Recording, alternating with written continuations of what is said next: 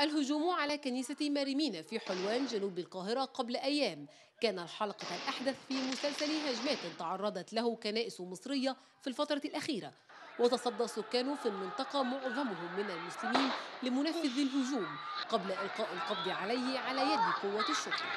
الحادث وقع بعد أيام من تقديم ستة من أعضاء مجلس النواب الأمريكي مشروع قرار يعبر عن القلق بشأن الهجمات التي يتعرض لها الأقباط في مصر ويحث الحكومة المصرية على إقرار إصلاحات تشريعية جادة لضمان حصول الأقباط على نفس الفرص كغيرهم من المصريين.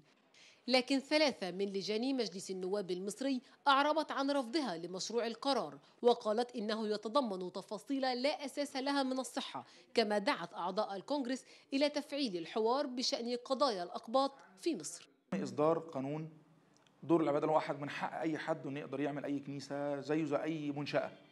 ده فيما يخص تشريعات القوانين وده قانون صدر بقاله 100 مرة بقاله 100 سنة لم يكن هناك مجلس لديه الجرأة أن يصدر هذا القانون. صدر في عهد المجلس. رقم اثنين تعديل قانون الإجراءات الجنائية لمسألة العدالة الناجزة وسرعة التقاضي.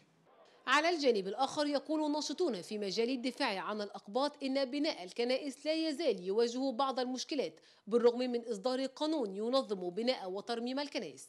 يأتي ذلك وسط تأخر إصدار قانون تنظيم الأحوال الشخصية لغير المسلمين.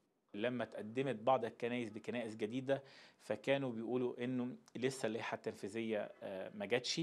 وبالتالي رد مجلس الوزراء ورد من البرلمان إنه مفيش لائحة تنفيذية. ده مجرد اللي عايز يرجع بيرجع لمضبطه مناقشة القانون وقتها.